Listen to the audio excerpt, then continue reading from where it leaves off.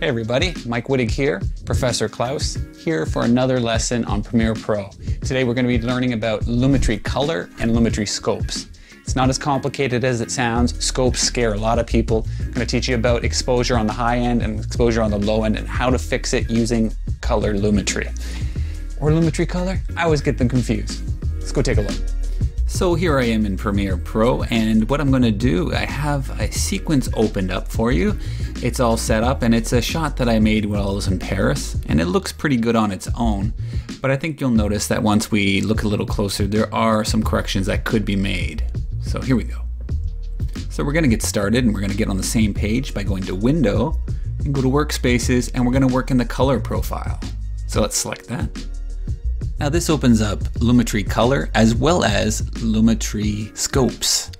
Your screen might not look the same with different video of course, but we also want to make the layout look the same. So we're going to go back up to Window, go to Workspaces, and then go to Reset to Save Layout. So we've got our scopes right here, our Lumetri scopes. Right there we have the vector scope here, then we've got our parade, then we have our histogram, and then finally we have our waveform here.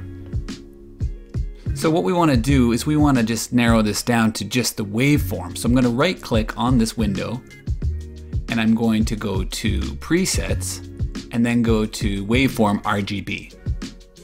And there we have the color RGB waveform, but we want to simplify this even more because we're just going to deal with the darks and the brights. So let's right click on there again and we're going to go to waveform type and select Luma. So along the left side here, there's a scale that goes from zero to 100.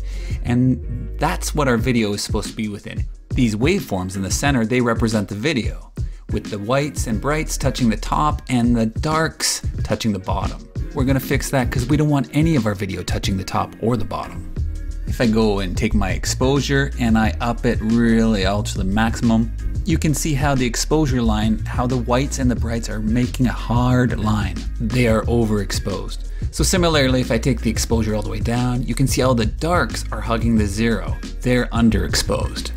I'll just double click the exposure there to reset it. And let's scrub through the footage and look for the worst footage that's in this clip. That would be the most overexposed or most underexposed. We're gonna look for the worst part.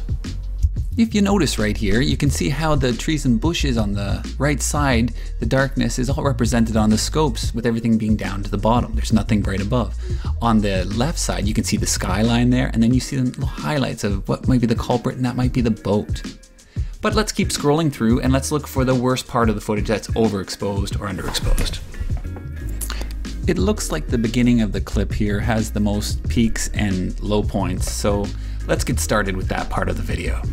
First off, we're gonna bring up the darks just so they're not touching that zero line anymore. So I'm gonna go over to basic correction and then I'm gonna take the blacks and I'm gonna bring them up or there we go. See now they're way up. But let's just get them not touching that zero line. Keep on moving it up. That looks pretty good right there. Okay, not bad. I can bring these shadows back down. It's not gonna bring it down below the zero mark anymore, but it will bring some contrast to the video.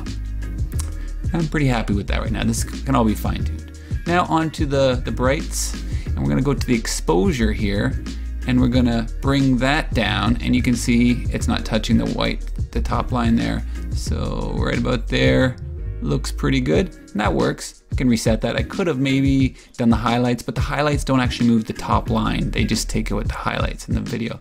So then we'll go down to the whites, and we'll bring that down, and that works too. I prefer to work the exposure on this case. So whatever one you like works best for you. It's whatever makes the best picture. So bring down the exposure again here. And that looks good. And I might take the highlights and bring some in there again. See, it's not pushing over the line or anything, but it does make some nice color. So that's that. That's color. That's exposure's been done right now. So now we might want to go to the um, adjust that a bit more. Let's go to the temperature and it's a little warm so I'm gonna bring over a little bit of blue and I like the way that looks right there. That's not bad at all. Work through the video here. I think we're looking pretty good. It's beautiful. there are more areas in Lumetri Color farther down that you can adjust. There's creative, curves, color wheels, and match. And that's not to be confused with color correction, it's more color grading. And color grading is making more adjustments to your sequence to create like a look or a mood. So that can be done by adding complementary colors to the shadows, the highlights, and it's more advanced, but this video is just about the basic exposure and basic color correction. That's all for today, guys. Please leave a comment in the section if you want to see something special. I'm happy to help you. Like and subscribe, it goes a long way. Until next time.